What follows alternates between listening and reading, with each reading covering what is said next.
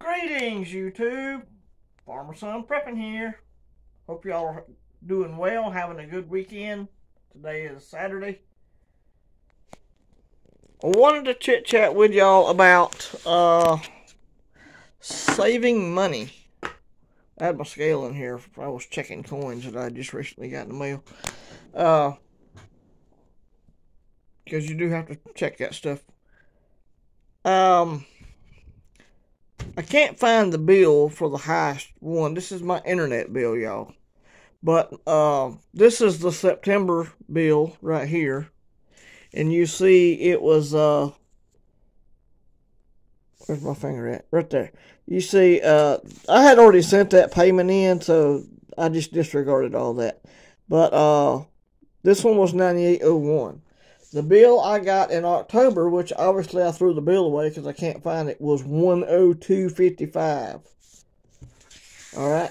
And then I called them, my internet company, and I said, I can't afford internet bills over a hundred bucks. I cannot do it. I can't stretch my check that thin, you know.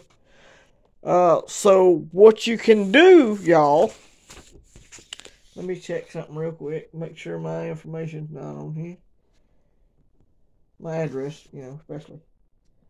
So what you what you can do, y'all, here is the uh, the list of things that you're being charged for. Fees and other things. Premium voicemail, you know, nothing for that. High speed internet plan, fifty-three dollars. See, that's what I should be being charged right there, fifty-three bucks. But no, no, no. They got to go in here and add all this extra stuff. Residential phone line, zero. Uh, unlimited long distance. See, I don't have none of that stuff. Uh, I'm trying to see which one it was that was really knocking my bill up. Which one was it? Anyhow, I can't remember which one it was. Here it is, right here. The very first one, non-published number. They were charging me $5.99 extra a month for an unpublished number. So I called them. I talked to the lady up there. I said, look, publish my number. I don't care, but just lose the $6 a month bill for that. And not only was that the only one, but I found multiple things in my uh, itemized billing that I was being charged for that I didn't want. Okay. And uh, some basic phone service was one of them. My uh, phone line is hooked to a modem all the time, y'all.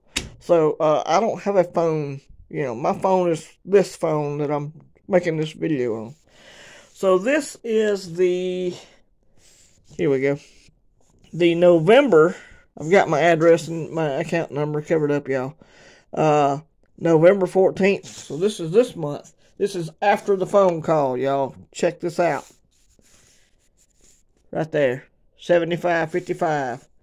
I went from $102 on my bill down to 75.55.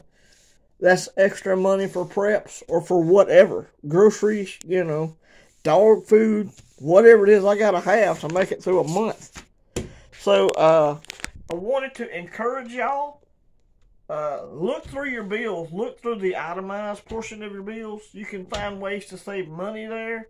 Uh, with the inflation getting like it is, thanks to Joe Biden, appreciate the hell out of that.